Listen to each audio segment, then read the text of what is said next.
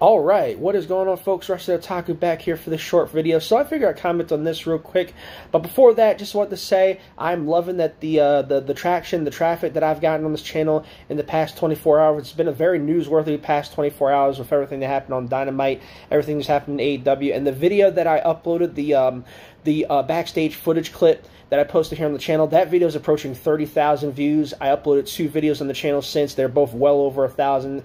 And like for three straight videos with over a thousand views for a channel that only has 300, you know, going on 300 subs, and we have gained, I've gained like 30 subs in the last day, and it's really encouraging seeing the traffic here and the, and the growth of this channel, and just within the last day. Another news: the Orioles complete the sweep of the Boston Red Sox. They win today's game by final score of nine to four. They travel back home to start a three-game set against the Milwaukee Brewers, and I love seeing that. The Orioles improved to eight and four, and they're doing well. And fuck the Red Sox, and that's pretty much all I got to say for that. Thanks for watching.